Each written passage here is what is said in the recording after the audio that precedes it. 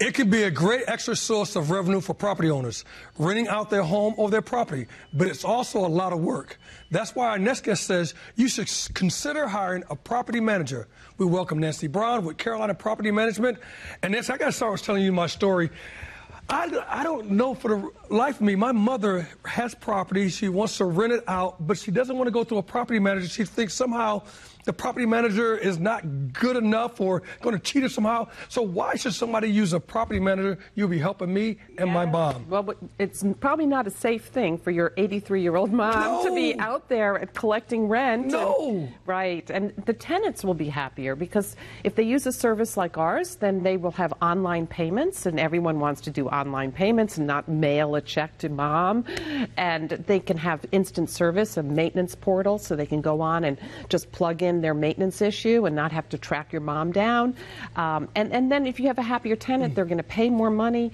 They're going to pay on time. You're going to have less vacancy time because you're going to rent the property out faster. So it's it, it's not even a cost.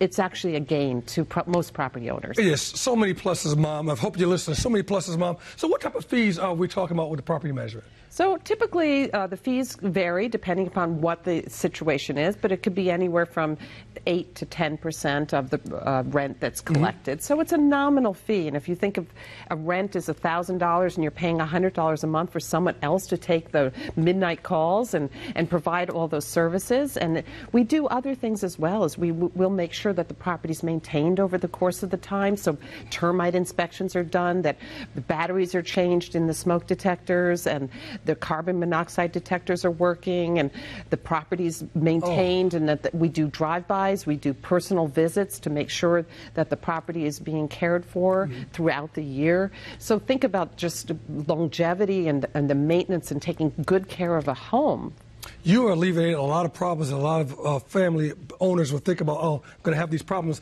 But how does an owner find the right property manager? That's that's a good question. So you, uh, you, probably are going to do a little research, look at some reviews, go online, and make sure that they're full service. So uh, uh, there's a vast difference on some of the property managers. Unfortunately, the big question I always get is, "What is my fee?" Not what are you going to do for me. And I think the "What are you going to do for me?" is more important than what the fee is. Because if I was mm -hmm. like a, a, limited service discount uh, property manager, I'm going to give a discount version of my my services, so your property may not be maintained as, as detailed or you might not have as much service. So, it, you know, everything costs money, but it, mm -hmm. it's so nominal. I would be more focused on what are you going to do for me. I like that. Okay, why is it so important for your potential property manager for hard stats like vacancy rates and lease renewal rates? What is that? Because most people don't understand that. That's right. So uh, if you uh, are um, looking for a property manager, what you want to ask is what, what are the turnover rates? So how long okay. is it going to take for you to lease my property? What's your history on that? So if it takes them 15 days to get the property leased and they can do it before the tenant moves out, um, then that's ideal. You have no loss. So you, uh, we build into our lease agreements that the current tenant is going to agree to showing 60 days prior to the termination of their agreement. So more, more often than not, we just moved one right in. Um, we had zero zero days of vacancy. So one moved out, Gosh. the next day the, the tenant moved in.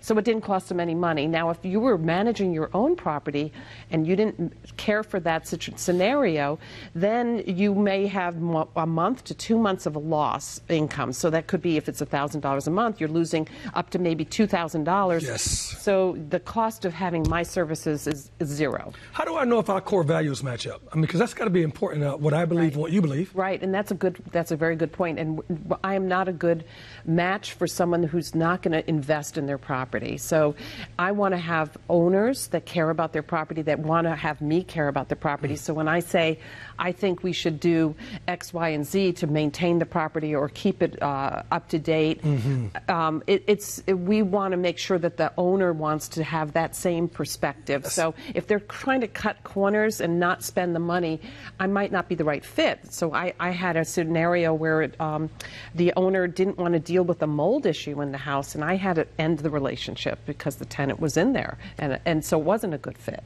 Wasn't a good fit, but they alleviate a lot of problems. You alleviate a lot of problems that the homeowner they don't have to endure like that. You can visit NancyHasTheTenants.com. Visit NancyHasTheTenants.com for more information, or you can call Nancy at 704 997 3794. 704 997 3794 please give her a call. Don't do it yourself. That's why she's here to help you. Thank you, Nancy. Thank Appreciate you. you. Thank you.